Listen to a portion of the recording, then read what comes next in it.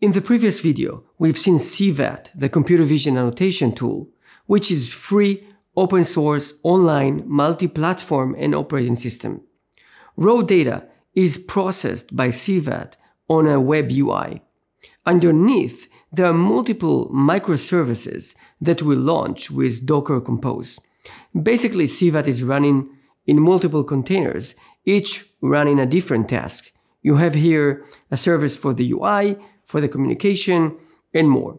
I ran in the previous video all these containers on my local machine, but you can run them anywhere. Check out the installation guide for AWS and others. In this video, we'll add one more service that will allow CVAT to communicate with serverless functions that we will manage using Nuclio. Serverless doesn't mean that there is no server. It only means that you, as a developer don't have to care about the server behind the scenes, about setting it up, maintaining it, and so on. Nuclio is an open source serverless platform and we will use it to manage inference functions. So basically we can have inference services anywhere thanks to the flexibility provided by Nuclio and get annotation services from them directly into CVAT. Let me show you how. You can always refer to this serverless tutorial in this QR code. In documentation, go to advanced and semi and full automatic annotation. We are running a new container we call serverless, and you can see the configuration in the YAML file. When done, you can see a new container running Nuclio Storage Reader. And let's install Nuclio command line tool and create a project in Nuclio. And now we can run the models that are already in our repository under CVAT directory.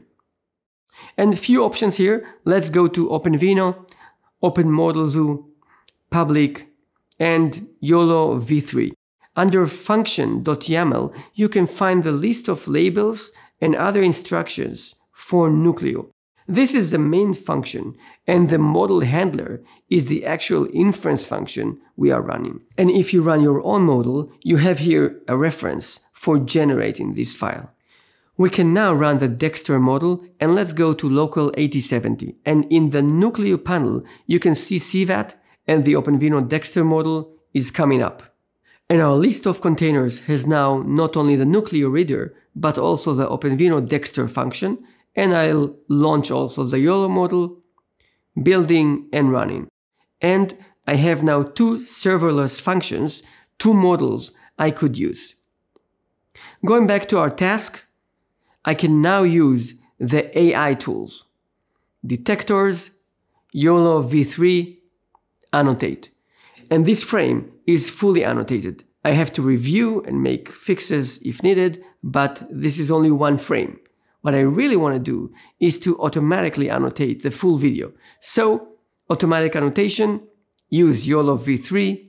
I've added few labels to make it a little bit more interesting. And this process of annotating the full video can take some time, but yeah, I'm getting a coffee. And it's done. And the full video was automatically annotated, exactly what we wanted. Free, open, very flexible, very powerful, and pretty intuitive to use. CVAT is my annotation tool. Thank you.